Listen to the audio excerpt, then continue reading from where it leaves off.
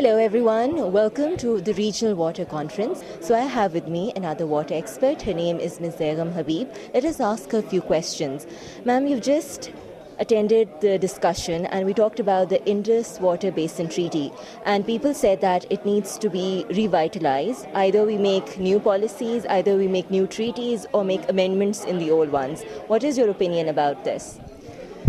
Uh, okay, thank you for asking this question. I think the Indus Water Treaty we signed in 1960, and we have uh, more than 50 years' experience with this treaty and uh, there are some lessons uh, learned from this treaty. It was uh, appreciated all over the world as one of the successful treaty, and I think even that appreciation has uh, some upstream bias because uh, the treaty was successful when India was uh, working on the eastern river, and the eastern rivers are fully diverted now, and now there's the issue of western river. so in this context, I think there are uh, few uh, specific issues uh, which uh, we should uh, address as a as an impact assessment study before we talk about new treaties and uh, try to find out what are the real gaps with this treaty.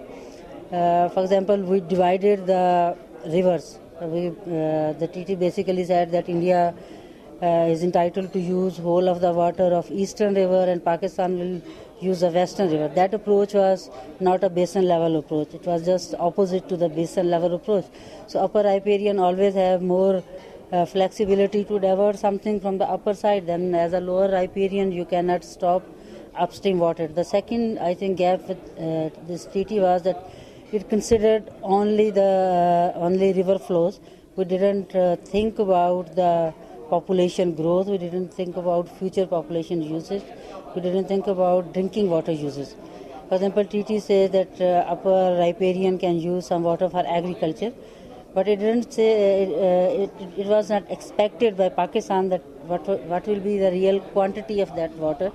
So now, uh, if we are facing some shortages um, in the base water flow, I think uh, in Pakistan, the reason is uh, not only agriculture but also the population upstream using water and which is a uh, daily use of water, permanent use of water.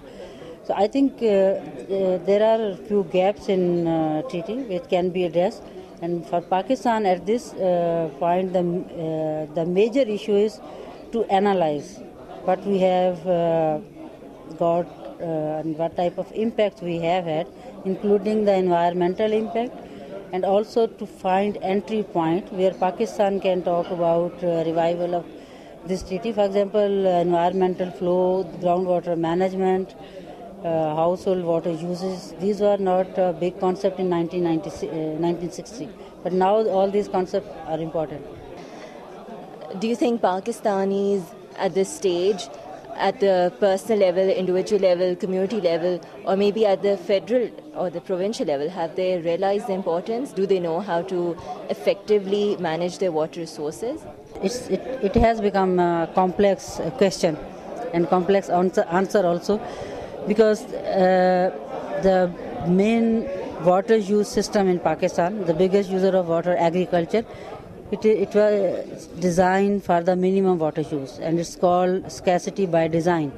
But with the passage of time, uh, there has there is very uh, large gap in water use efficiency in different sector and different regions because uh, we have developed uh, new water use patterns, uh, even the cropping pattern which is not water efficient.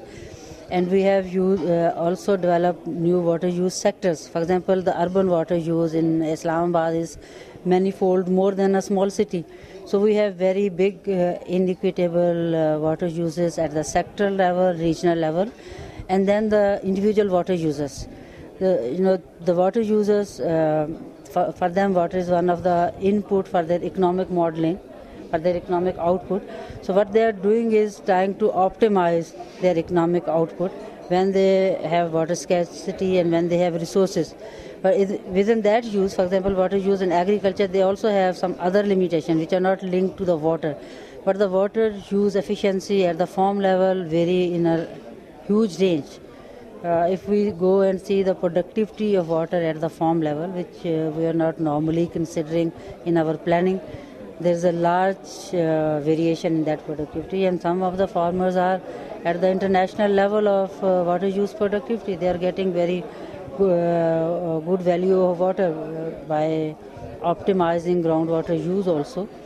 So I think the water use efficiency, the major issue is that, we learn from the good practices.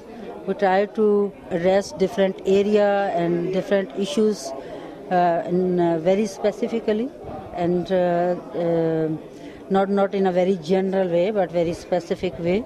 For example, water quality in some area uh, didn't allow some of the crops which we are doing using now and we are using very very high delta crop where we have uh, already water logging which is in the which in uh, finally uh, decreasing the our water use productivity so i think the, in the for the water use efficiency we have to work at the micro level and many different uh, uh, many different aspects of water use okay.